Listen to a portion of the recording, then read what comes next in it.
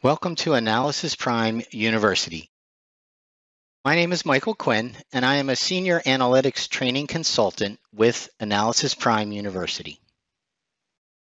Data locking is used in SAP Analytics Cloud to prevent changes to specific data at different stages of the planning process.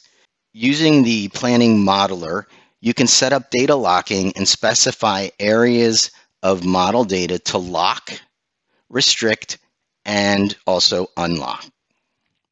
In this tutorial, you'll learn how to enable data locking in your model using model preferences, and also how to configure data locking by adding a new driving dimension. In your model, under the General section, select the wrench icon, Model Preferences. In the Model Preferences pop-up window, select Access and Privacy, and then what you will do is you will toggle on or enable data locking. Select OK and save this change to your model. Now that you have enabled data locking, you can configure data locks. Under the Data section, the icon that looks like a padlock, select Configure Data Locks. In the data locking screen, what we're going to do is we've already got driving dimensions for version and for time.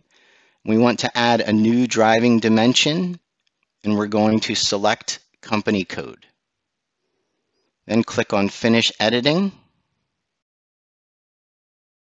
and then choose Show Grid. So you can see that we have added company code and we can make changes to it with the other dimensions that are there, for example, under version, click on version, and in the pop-up window, set the filter for actual. So now the members are actual, and choose OK. For the time dimension, let's choose the years 2019 and 2020, and select OK.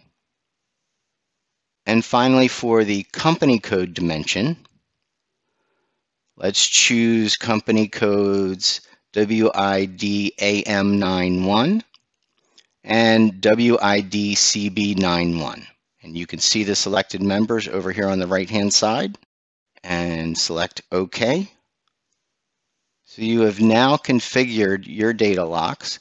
And then if you wanted to change the status, if you wanted to restrict this so it could not be changed or you have limited restrictions to it, you can select restricted.